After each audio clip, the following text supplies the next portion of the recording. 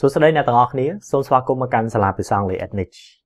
បន្តិចទៀតនេះអ្នកទាំងអស់គ្នានឹងឃើញវីដេអូមេរៀនមួយដែលតាក់ទងជាមួយនឹងការសន្ទនាកម្រិតដំបូងហើយអ្នកទាំងអស់គ្នានឹងពិនិត្យមើលការសន្ទនាមួយដែលតាក់ទងជាមួយនឹងប្រធានបទ reserving rooms ការកក់បន្ទប់ឥឡូវនេះយើងទៅមើលមេរៀនរបស់យើងទាំងអស់គ្នាប្រធានបទដែលយើងនឹងពិនិត្យមើលគឺមានចំណងជើងថា reserving rooms reserving rooms ពាក្យ reserve reserve ហ្នឹងគឺមានន័យថាកក់ ហើយកក់ហ្នឹងគេហៅពាក្យ reserve ភាសាអង់គ្លេសប្រើពាក្យមួយទៀតគឺ book to book ឬក៏ to reserve ប្រើមួយណាក៏បានដែរណាអ្នកទាំងអស់គ្នាអាចប្រើបន្ទប់ reserve rooms book a table កក់តុឬក៏ book a plane ticket អីអាហ្នឹងក៏បានដែរ reserve book ប្រើបានដូចគ្នាណាចឹងឥឡូវនេះយើងទៅមើលមើលថាតើមេរៀននេះយើងមានការសន្ទនាអីខ្លះហើយមាន words ក៏ដូចជា phrases អីខ្លះដែលយើងអាចរៀនបានសួស្តីអ្នកទាំងអស់គ្នាម្ដងទៀត វីដេអូមេរៀនដែលអ្នកទាំងអស់គ្នាទើបតែបានឃើញមិញនេះគឺដកស្រង់ចេញមកពី app Adniche Online នៅទីនោះយើងមានវីដេអូមេរៀនជាច្រើនដែលតាក់ទងជាមួយនឹងប្រធានបទផ្សេងផ្សេងវេយ្យាករណ៍ writing IELTS TOEFL ហើយជាមួយនឹងភាសាអង់គ្លេសទូទៅទៀតនៅខាងក្រោមវីដេអូមេរៀនទាំងអស់នោះគឺយើងសុទ្ធតែមានលំហាត់សម្រាប់ឲ្យអ្នកទាំងអស់គ្នាអនុវត្តធ្វើដើម្បីពង្រឹងសមត្ថភាពភាសាអង់គ្លេសរបស់អ្នកទាំងអស់គ្នាបន្ថែម ហើយដើម្បីប្រើប្រាស់ app Adniche Online បានតើតើអ្នកទាំងអស់គ្នាចុះឈ្មោះខ្លាយទៅជាសមាជិករបស់ app Adniche Online ដើម្បីចុះឈ្មោះអ្នកទាំងអស់គ្នាគ្រាន់តែចំណាយ2000រៀលប៉ុណ្ណោះក្នុងមួយថ្ងៃអ្នកទាំងអស់គ្នាអាចក្លាយទៅជាសមាជិករបស់ app Adniche Online បានហើយហើយឥឡូវនេះសាលាភាសាអង់គ្លេស Adniche កំពុងតែបញ្ចុះតម្លៃពិសេសទៅលើថ្លៃសមាជិកភាពនឹងទៀតចឹងបើចុះឈ្មោះឥឡូវនេះអ្នកទាំងអស់គ្នាបង់ថ្លៃក្រោម2000រៀលក្នុងមួយថ្ងៃនឹងទៀត បើចាប់អារម្មណ៍ចង់ចុះឈ្មោះកុំភ្លេចតាក់ទងទៅ Telegram ដែលមានលេខ011 45 55 67ជាដំបូងនេះយើងអានសិនណាហើយមេរៀននេះការសន្ទនាវាមិនវែងពេកទេតែក៏មិនខ្លីពេកដែរ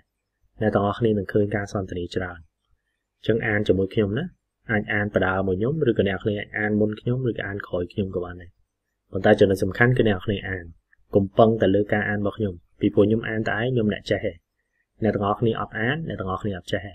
ហើយរឿងអត់ចេះហ្នឹងគឺយើងសំដៅទៅលើការបញ្ចេញសលេងណា pronunciation វិធីមួយនៅក្នុងការ improve pronunciation របស់យើងគឺរឿងអានព្យាយាមអានឲ្យបានច្រើនអ្នកទាំងអស់គ្នានឹងចេះបញ្ចេញសលេងបានល្អ Good evening madam what can I do for you Good evening madam what can I do for you Good evening I want to reserve 5 rooms for tomorrow evening Good evening I want to reserve 5 rooms for tomorrow evening What type of rooms would you like? What types of rooms would you like? I want five single bedrooms, each with a bathroom attached. I want five single bedrooms, each with a bathroom attached. I am very sorry. I am very sorry. All the single bedrooms are occupied. All the single bedrooms are occupied. We have got only double bedrooms. We have got only double bedrooms. Then I would like to reserve three double bedrooms. Then I would like to reserve three double bedrooms. All right, madam. May I know your name? All right, madam. May I know your name? I am Miss Jane. I am Miss Jane. What is the rent of a double room? What is the rent of a double room? 48 US dollars per night and it includes breakfast. 48 US dollars per night and it includes breakfast. That is fine. That is fine. Thank you very much. Thank you very much. ចឹងដូចខ្ញុំបានបញ្ជាក់ចឹងណា conversation នេះវាមិនវែងពេកទេប៉ុន្តែវាក៏មិនខ្លីពេកដែរ ហើយអ្នកទាំងអស់គ្នាអានទៅខ្ញុំសង្ឃឹមថាអ្នកទាំងអស់គ្នាអានបដាហ្នឹងអ្នកទាំងអស់គ្នាអាចចាប់បានអត្ថន័យរបស់គេខ្លះនៅពេលដែលគេនិយាយនៅក្នុងការសន្ទនាហ្នឹងពីព្រោះចាប់បានខ្លះវាបង្ហាញថាអ្នកទាំងអស់គ្នាយល់ខ្លះហើយមានពាក្យពេចន៍ខ្លះយើងមិនហាក់ជាអត់ចេះអស់ទេប៉ុន្តែអាចចេះខ្លះខ្លះហ្នឹងគុំគ្នាយូរយូរទៅនឹងជួយអ្នកទាំងអស់គ្នាចេះច្រើនហើយហើយហ្នឹងហើយគឺជា process នៃការរៀន is a learning process ណាចឹងអានបដាព្យាយាមកាត់យល់បដាទៅចឹងឥឡូវនេះបើអ្នកគ្នាអានហើយ យើងទៅពិនិត្យមើល word side phrases នៅក្នុងនោះវិញថាតើយើងអាចរៀនអីបានខ្លះតាមពិតសាលាភាសាអង់គ្លេស Ethnich ពិតជាចង់ចែកចាយវីដេអូមេរៀនទាំងអស់នេះដោយឥតគិតថ្លៃតែម្ដង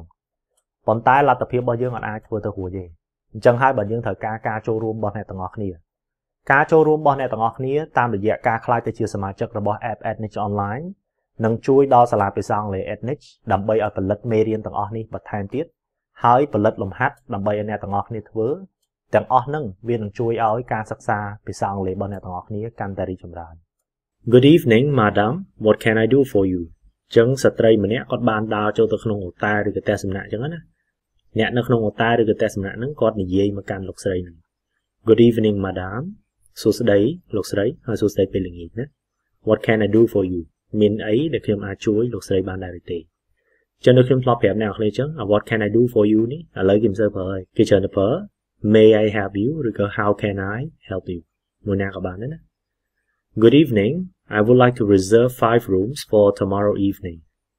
Good evening I want to reserve 5 rooms for tomorrow evening ពាក្យនេះយើងអានថា tomorrow ណា ter មិនធូណា tomorrow កុំអាន tomorrow អាន tomorrow វិញ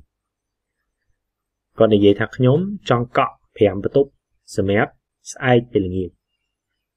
គាត់ថាគាត់ចង់កក់5បន្ទប់សម្រាប់ស្អែកពេលល្ងាចចឹង reserve ណា reserve មានន័យថាកក់ដូចជាមួយនឹងពាក្យ book ខាងនេះគេថា what type of rooms would you like តើអ្នកឯងចង់បានបន្ទប់ប្រភេទណាចឹង what type what type ហ្នឹងគឺប្រភេទណាអូខេ what type ពេលខ្លះគេឲ្យពាក្យ type ហ្នឹងអ្នកគ្នាឃើញគេប្រើពាក្យ kind ចំ what kind ក៏បាន what type ក៏បានអាហ្នឹងគឺប្រភេទដែរ I want 5 single bedrooms each with a bathroom attached I want 5 single bedrooms each with a bathroom attached គាត់និយាយថាខ្ញុំចង់បានបន្ទប់ single ចំនួន5ហើយបន្ទប់នីមួយនីមួយគឺត្រូវមានបន្ទប់ទឹកភ្ជាប់ជាមួយវាពាក្យ attach នឹងគឺភ្ជាប់ណាបើអ្នកគ្នាធ្លាប់សរសេរ email អីអ្នកគ្នាឃើញ attach file attach file ហ្នឹងគឺនៃ short file ទៅជាមួយនឹង email ហ្នឹង single bedroom double bedrooms ខ្ញុំបញ្យល់ប្រាប់អ្នកគ្នាចេះវិញ ជាទូទៅនៅពេលដែលអ្នកគ្នាទៅផ្ទះសំណាក់ឬក៏អូតែលកតុបគេច្រើនតែបែងចែកចេញជាប្រភេទរបស់វាហើយប្រភេទ3ដែលអ្នកគ្នាអាសាជួបគឺទី1 single single bedroom មានន័យថាបន្ទប់ដែលគេរៀបចំមកសម្រាប់មនុស្សតែម្នាក់ឯងចឹងបើគេដាក់ខែក្នុងហ្នឹងអាចជាខែមួយទូចអីចឹងទៅហើយខែមានតែមួយ double bedroom គឺជាបន្ទប់សម្រាប់មនុស្ស2នាក់ចឹងបើគេដាក់ខែមួយគេអាចដាក់ខែធំអីចឹងទៅចឹងធ្វើមិនឲ្យមនុស្ស2នាក់ស្នាក់នៅបាន បន្ទប់មួយប្រភេទទៀតគេហៅថា twin bedroom អា twin bedroom ហ្នឹងគឺសម្រាប់មនុស្ស2នាក់ប៉ុន្តែជាទូទៅខែមាន2 twin ណាខែមាន2ដាច់ចេញពីគ្នាអញ្ចឹងទៅ I am very sorry all the single bedrooms are occupied ខាងនេះគេថាខ្ញុំសោកស្ដាយណាស់បន្ទប់ single ហ្នឹងគឺពេញអស់ហើយពាក្យពេញគឺពាក្យ occupy ណា occupy គឺពេញឬក៏មានន័យថាគេប្រើពាក្យហើយ បើអ្នកទាំងអស់គ្នាចូលបន្ទប់ទឹកស្រាប់នៅលើបន្ទប់ទឹកហ្នឹងគេដាក់ពាក្យថា occupied មានន័យថាមានមនុស្សនៅក្នុងហ្នឹងបើអត់មានមនុស្សនៅក្នុងហ្នឹងទេគេប្រើពាក្យ vacant vacant ចុង vacant មានន័យថាទំនេរដល់ពេល occupy ចេះគឺពេញហើយឬក៏គេប្រើប្រាស់ហើយឬក៏ជាប់រវល់ហើយពី occupy មានន័យអញ្ចឹងណា We have got only double bedrooms ខាងនេះគេថាយើងមានតែបន្ទប់ប្រភេទ double ហើយ Then I would like to reserve 3 double bedrooms គេថាអញ្ចឹងខ្ញុំចង់កក់កតុបប្រភេទ double ហ្នឹងចំនួន3វិញ All right madam may I know your name គេថាអត់អីទេ madam បានតើខ្ញុំអាចសុំឈ្មោះ madam បានដែរទេខាងនេះគេថា I am Miss Jane I am Miss Jane What is the rent of a double room ក៏សួរថាតើថ្លៃជួលបន្ទប់ double មួយ ចំនួនប្រមាណចឹងពាក្យ rent គឺមានន័យថាថ្លៃជួលណា What is the rent of a double room ថ្លៃជួលចម្លើយក៏ឆ្លើយថា48 US dollars per night តម្លៃ48ដុល្លារក្នុងមួយយប់ចាពាក្យក្នុងមួយអីមួយគេប្រើពាក្យ per នេះ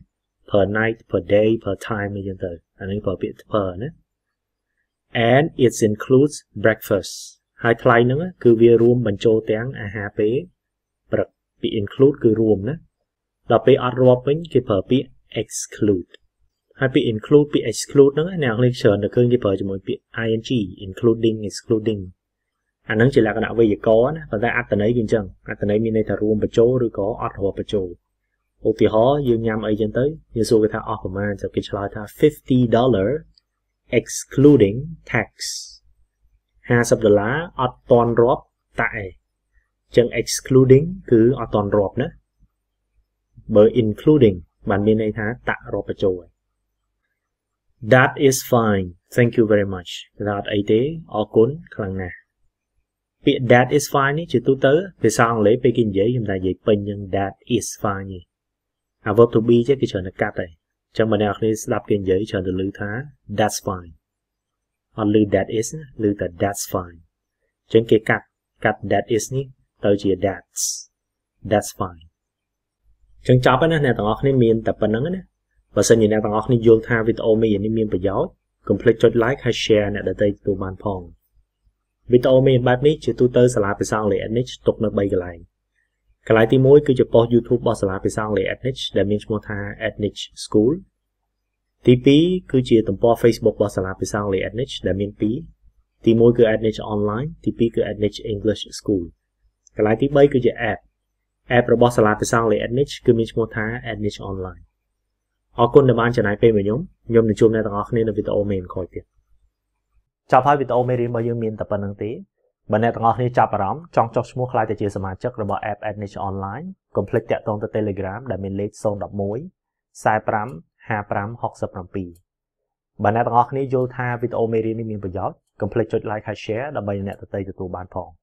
អរគុណជំរាបលា